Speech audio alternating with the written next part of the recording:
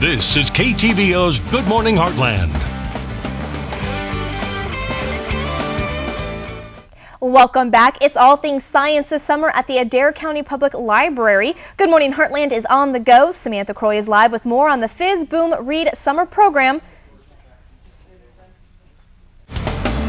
Coming to you live.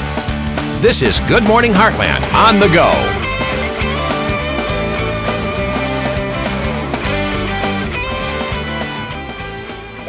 And good morning. I am outside the Adair County Library with Diane, who's the children's librarian here.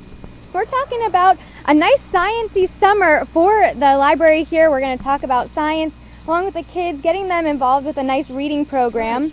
It's Fizz Boom Read this summer at the Adair County Public Library. It is all things science. It's oodles of ologies. We just are covering about everything um, in our five-week summer reading program. Um, you want me to say? Well, and we did take a tour of the library here. Everything is set up. It looks so exciting, and I can see your passion. You're you're talking about science. You're so excited, and the kids, I'm sure, are excited as well. Um, yeah, we've had a fantastic response to this program. We already have over 300 kids signed up to read. Yesterday we had our first edutainment program, which is a professional entertainer with an educational message. And we had uh, almost 270 kids and parents here for the program.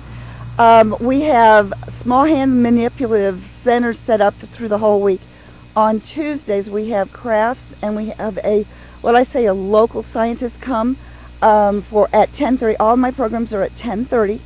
Uh, we have um, next week we'll have Dr. Snyder from AT Still University come and talking about anatomy. We'll have Aaron McElvaney from the high school come for our enrichment program on Wednesdays mornings at 10:30. That's for kids who are 8 to uh, 12 years old, and they'll be doing the fun toys of physics.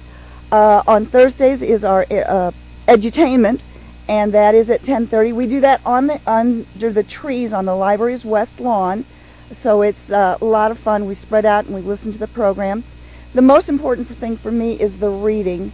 Kids sign up to read, and they uh, for every three hours that they read, they get a gold coin, which they can either save or they can spend or they can actually keep the coin too if they'd like to. We've got different tanks set up.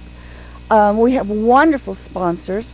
Uh, the Friends of the Adair County Public Library are our major funding, and then we have like the Optimist Club and the Kiwanis Club are sponsoring different programs.